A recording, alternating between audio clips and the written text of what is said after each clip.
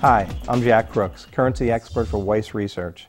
Today on Money and Markets TV, I want to discuss the dollar's recent performance, but also look beyond the dollar to other segments of the currency market.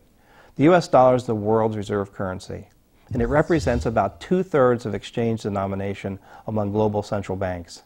There's a good reason for that. Countries must hold US dollars in order to facilitate international trade and capital flows.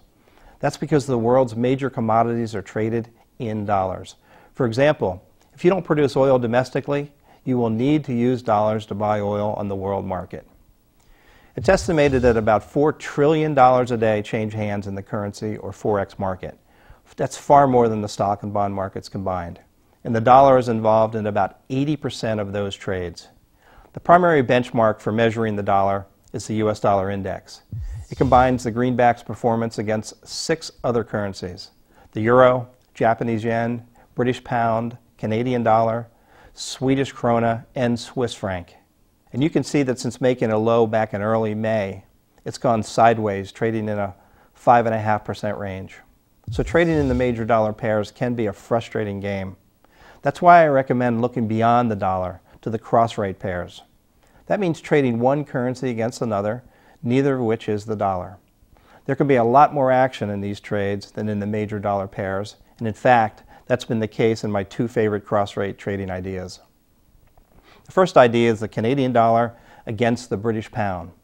I believe Canada's currency will move much higher against the pound uh, in the long run. That's because there's a major disparity in the economic fundamentals of the two countries.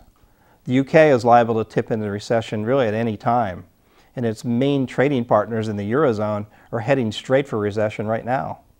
Conversely, Canada's biggest trading partner is the United States, which we know obviously isn't setting any records, but is really in much better shape than the Eurozone right now.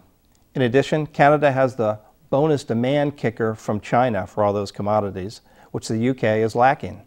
Canada also has a yield advantage over the UK because its short-term interest rates are higher and I believe the Bank of England will initiate another round of quantitative easing, which will increase the yield advantage on the Canadian dollar deposits even more. In this chart, you can see that the pound recently tested its high against the Canadian dollar, and it failed. And now it's about to cross below the 22-day moving average, which, is, which in the past really has provided great support and resistance level. Another cross-rate trade I like is the Australian dollar against the Japanese yen. However, this is a much shorter term trade setup and will only pay off under certain market conditions. Specifically, if we see a rally in risk assets, stocks, and commodities, then the Australian dollar is likely to shoot up against the yen. And that trade could be an even bigger winner if the Bank of Japan intervenes again in the currency markets. You can see in this chart what happened the last time Japan stepped into the market to try and weaken its own currency back in March. Now, this pair is about to test some strong resistance, so it's important to keep an eye on it. Of course, if the Bank of Japan doesn't intervene and stocks don't bounce, this trade won't work. But trading is about knowing your reasons and controlling your risk. I believe the reasons I've laid out trading this pair make sense, and the risk-reward profile really is excellent. Overall, the number of potential cross-rate trade opportunities in the currency market is huge. The idea, ideas are only limited by your imagination. In the coming weeks, I'll show you how to apply these same principles, even if you use currency ETFs or currency options as your means of accessing the powerful Forex market. I'm Jack Crooks for Money and Market TV. Thanks for watching.